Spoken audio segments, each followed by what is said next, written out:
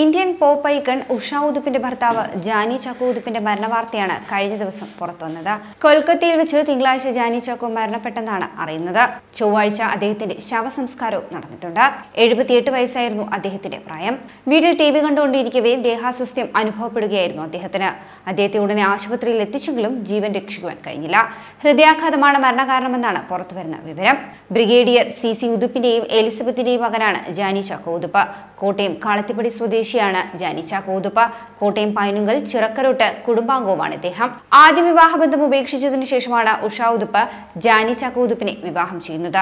നാടകീയമായ ചില സംഭവങ്ങളൊക്കെ ഉഷാ ഉദുപ്പിന്റെ വ്യക്തിജീവിതത്തിൽ ഇതിനിടെ ഉണ്ടായിട്ടുമുണ്ട്. രാമോജി എന്നാണ് ഉഷാ ഉദുപ്പിന്റെ ആദ്യ ഭർത്താവിന്റെ പേര്. അക്കാലത്ത് ഉഷ റെസ്റ്റോറന്റുകളിലും ബാറുകളിലും ഒക്കെ പാട്ടുപാടുന്ന ഒരാളായിരുന്നു.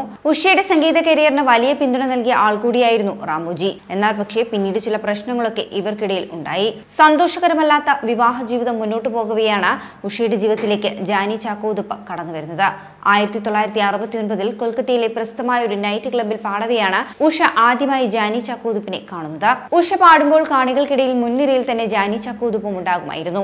അന്ന് പരിചയപ്പെട്ട ഇരുവരും തമ്മിൽ പിന്നീട് സൗഹൃദത്തിലായി. അന്ന് രാമോജിയുമായുള്ള വിവാഹബന്ധം ഉഷ അവസാനിപ്പിച്ചിട്ടില്ലായിരുന്നു. ഒരുമിച്ച് തന്നെയായിരുന്നു ഇരുവരും അക്കാലം കഴിഞ്ഞതും. എന്നിരുന്നാലും ജാനി ഉഷ അടുപ്പം ദൃഢമായി കൊണ്ടിരുന്നു ആ ഒരു കാലയളവിൽ.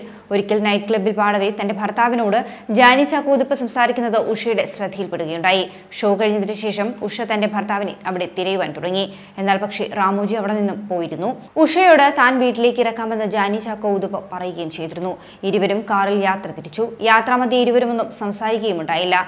എന്നാൽ പക്ഷേ പിന്നീട് നടന്ന സംഭവങ്ങളാണ് ഉഷയുടെ ജീവിതം ആകെ മാറ്റിപ്പറിച്ചത് വീട്ടിലെത്തിയ ഉഷ ബെല്ലടിച്ചു. പുറത്തേക്ക് വന്ന റാമോജി ജാനി ചാക്കോ ഉദുപ്പിനെ കണ്ടതോടെ മതി മിസ്റ്റർ ഉദുപ്പ് നിങ്ങൾക്ക് പോകാമെന്ന് പറഞ്ഞു. ജാനി ചാക്ക പോയതോടെ ഉഷയുടെ താനറിഞ്ഞ വിവരങ്ങളൊക്കെ റാമോജി പറയുകയുണ്ടായി. നിങ്ങളുടെ ഭാര്യയുടെ കാര്യം തനിക്കറിയില്ല. പക്ഷേ താൻ അവളുമായി സ്നേഹത്തിലാണെന്ന് ജാനി ചാക്കോദുപ്പ തന്നോട് തുറന്നു പറഞ്ഞുവെന്ന് റാമോജി ഉഷയോട് പറയുന്നു. ഇത് സത്യമാണോ? ജാനിയോട് നിനക്കും സ്നേഹമുണ്ടോ എന്ന് റാമോജി ഉഷയോട് ചോദിച്ചപ്പോൾ ഒരു നിമിഷം ചിന്തിച്ച ഉഷ അതേന്ന് റാമോജിയോട് തുറന്നു പറയുകയും ചെയ്തു. റാമോജിക്ക് അതൊന്നും ഉൾക്കൊള്ളുവാൻ കഴിഞ്ഞില്ല. പിന്നീടും കുറച്ചുനാൾ റാമോജിക്കൊപ്പം ഒരുമിച്ച് കഴിഞ്ഞെങ്കിലും ഇവർ ബന്ധം പിരിയുവാൻ തീരുമാനിച്ചു. പിന്നാലെ തന്നെ ആയിരത്തി തൊള്ളായിരത്തി എഴുപത്തി ഒന്നിൽ ജാനി ചാക്കോ ഉദുപ്പിനെ ഉഷ വിവാഹം കഴിക്കുകയും ചെയ്തു. അഞ്ജലി എന്ന മകളും സണ്ണി എന്ന മകനുമാണ് ഉഷ ഉദുപ്പിനും ജാനി ചാക്കോ ഉദുപ്പിനും ഉള്ളത് തേയിലത്തൊട്ട മേഖലയിലാണ് ജാനി ചാക്കോ ഉദുപ്പ് ജോലി ചെയ്തിരുന്നത്. കൊൽക്കത്തയിൽ നിന്ന് ജാനിക്ക് സ്ഥലമാറ്റം ലഭിച്ചതോടെ കൊച്ചിയിലാണ് ഇവർ ആദ്യം താമസിച്ചിരുന്നത്. പിന്നീട് മക്കൾ ജനിച്ചതുമൊക്കെ ഇവിടെ തന്നെയായിരുന്നു. പിന്നീട് ഇവർ കൊൽക്കത്തയിലേക്ക് വീണ്ടും താമസം മാറി. അതേസമയം പോപ്പൈക്കണിന്റെ രാജ്ഞി എന്നറിയപ്പെടുന്ന ഗായികയാണ് ഉഷ ഉദപ്പ. മലയാളികൾക്ക് മേരെ സുപരിചിതയായ ഉഷ ഉദപ്പ ഗായിക എന്നതിലുപരിയായി അഭിനേത്രി കൂടിയാണ്. ഈ വർഷം ആദ്യം ഉഷ ഉദപ്പിനെ സംഗീത വ്യവസായ രംഗത്തെ സംഭാവനകൾ പരിഗണിച്ചുകൊണ്ട് മൂന്നാമത്തെ പരമോന്നത സിവിലിയൻ ബഹുമതിയായ പത്മഭൂഷൺ നൽകി രാജ്യം ആദരിക്കുകയും ചെയ്തിരുന്നു.